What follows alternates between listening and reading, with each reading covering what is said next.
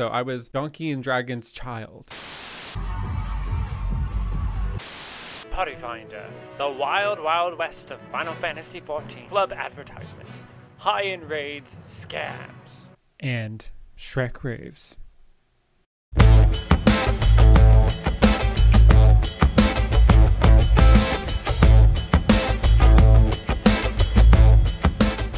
Opera GX is a wonderful internet browser that offers endless customization, but it can be overwhelming, so I'm gonna walk you through it. With GX mods, you can give your browser an entire makeover and change anything you want. Let's pick the anime mod to start with. Now let's turn on some background music, and I got some cool browser and keyboard sounds. Mods are as easy to disable as they are to install. With one easy click there, Nice. Now, if that wasn't enough customization, let me show you the animated wallpapers. There is a huge selection, but I'm very set on one of the Spirited Away ones. That looks incredible. If you like what you see, I have a download link in the description below as well as the comment section. So you can follow hands-on. Now that that's set, we can watch some anime while we work with Opera's video pop-out feature. I can watch Yuri on Ice in a separate adjustable video frame and it follows me into other open tabs so I don't have to mess with it. It's very fluid. This works with Crunchyroll, Funimation, you name it. You can also add TikTok into your sidebar. Just click, open, and I can watch clips from Ghibli films and maybe discover a new series. Same thing with Discord. I can open it right into my browser and communicate with business, friends, or my community. Have a great start to your weekend, everyone. You can communicate across several messengers like Facebook Messenger, Telegram, and WhatsApp simultaneously, all from your sidebar. The coolest feature, in my opinion, is that you can import settings from other browsers, like bookmarks, history, cookies, all with like two clicks. I thought it would be really complicated, but it was shockingly easy. You can see all my old bookmarks here. Don't sleep on Opera GX. I have a download link below in my comments and description. Snatch it, I highly recommend. Now, back to the Shrek rave.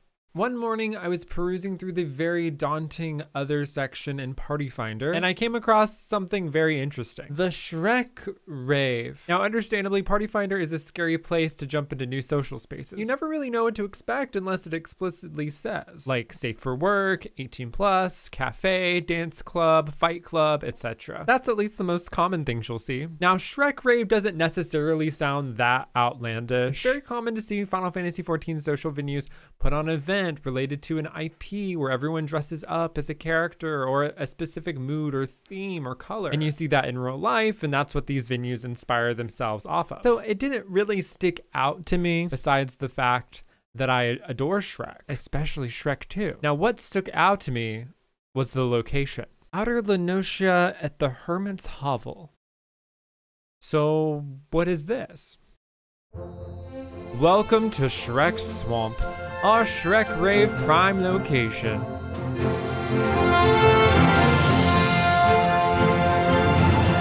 I don't know if I've ever ventured to this part of the map before. It's so remote. There's no enemies. There's a waterfall, Shrek's house, his bath. Everything is here. Now, I actually checked out this location the morning before the rave. I hadn't experienced anything, so I can't get too excited, even though I'm literally in Shrek's house. My dream. What if I'm disappointed? I have to prepare.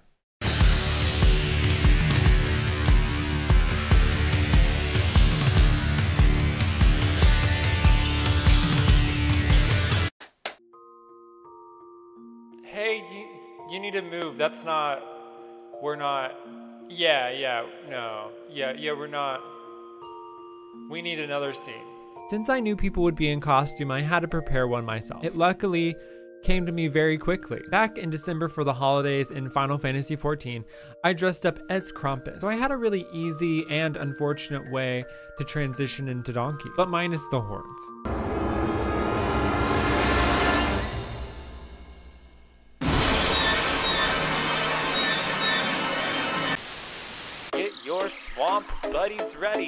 The Shrek rave is on tonight. I rolled up to Outer La well into the rave, riding on Dragon herself as Donkey. I felt like I was recreating a moment from the film, Dragons swooping over the hills, the wind breezing through my bunny ears, yearning to get far, far away. After our long journey, we finally cleared some trees, and there it is, Shrek Swamp. And everyone is there, dancing to the beat of old 80s and 2000s music.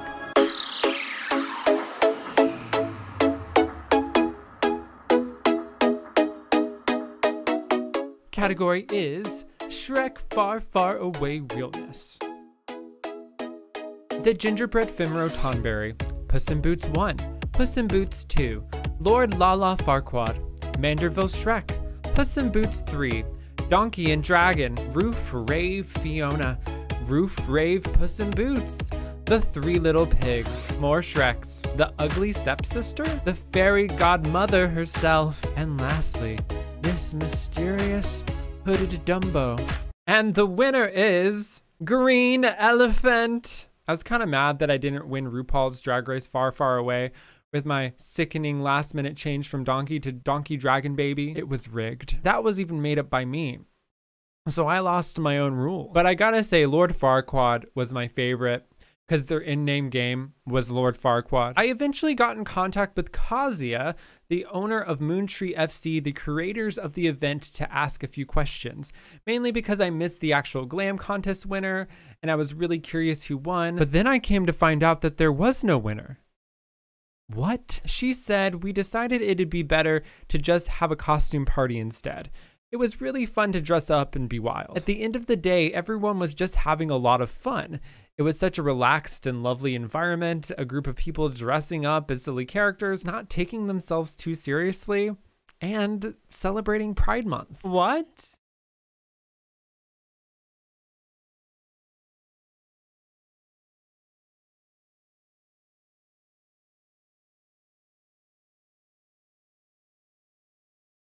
What inspired the idea of the Shrek Rave? Our FC loved the idea and had wanted to do something fun and different during Pride Month. Shrek encompassed a pretty amazing message about loving yourself and celebrating diversity. Even as a gay myself, I wasn't consciously thinking that this was a Pride event. I just saw Shrek Rave and was immediately drawn in. I was already sold. But yeah, Shrek is very gay. Just look at the musical.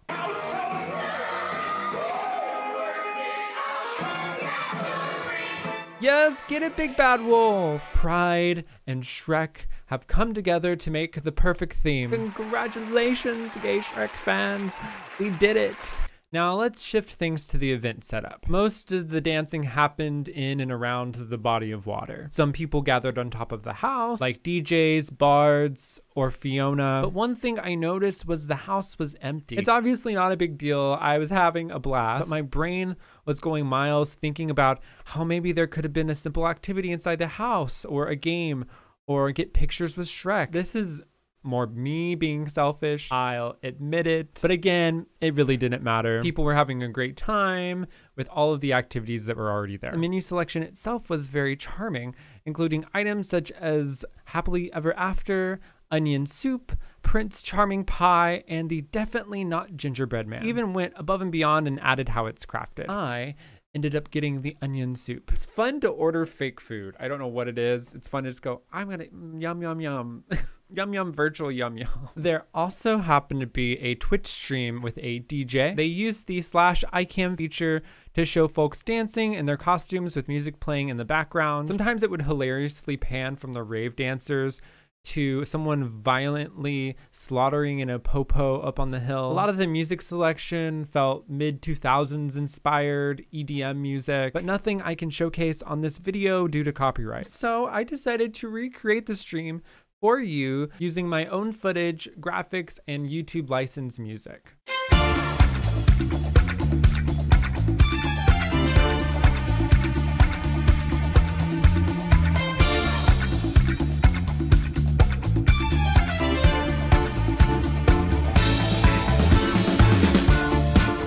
This was the point I started to AFK. I got up to make dinner, do laundry, clean up a little bit. By the time I got back, the stream had ended. I didn't think the rave was done until later. I was sad. It was over too soon. So I tabbed back into the game and I found this.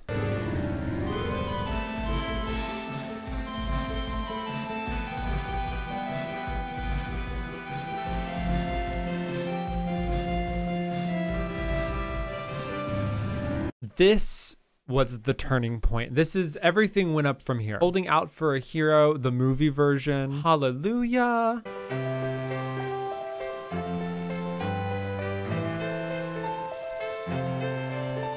Ricky Martin.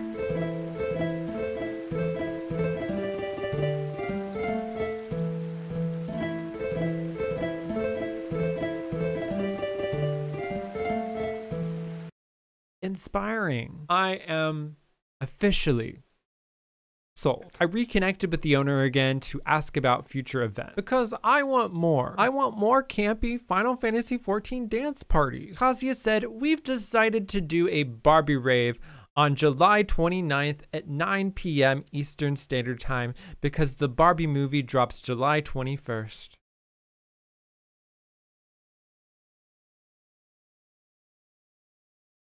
I'm ready. So, yeah, that's the virtual Shrek rave. I hope you enjoy.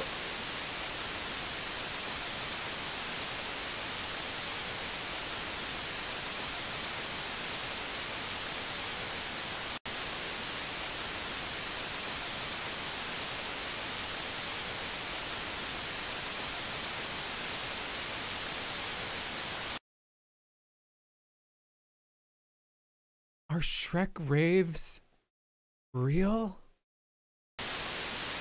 Tonight we're at Shrek Rave. We're going to be seeing what it's all about. Obviously, I'm Shroker. So, as I do, I decided to search YouTube for Shrek raves, and I was very happy with my discovery.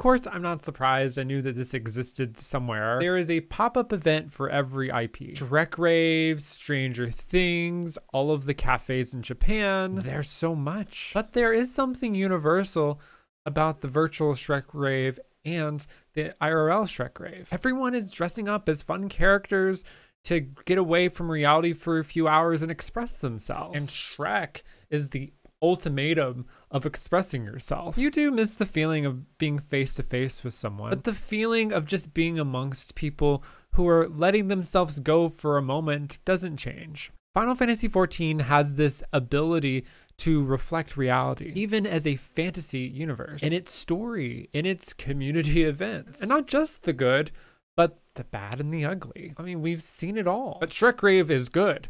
Let's be clear. And the world is a scary place, which makes Final Fantasy XIV a scary place, whether you want to admit it or not. You may experience a mean player here or there, or a weird experience at a social venue. It happens. It's happened to me. But even in all of that, open Party Finder, hit that other tab and scroll down. You never know what you'll find. You may find what you've been searching for all along. So take the risk, jump in, and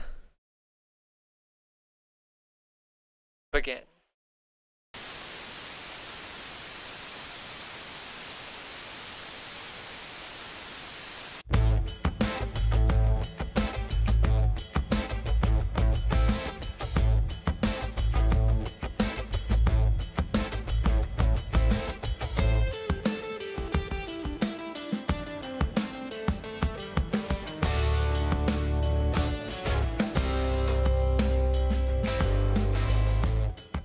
Thank you to my patrons with a special shout out to Kinara, City Spacer, and M. Rawlings.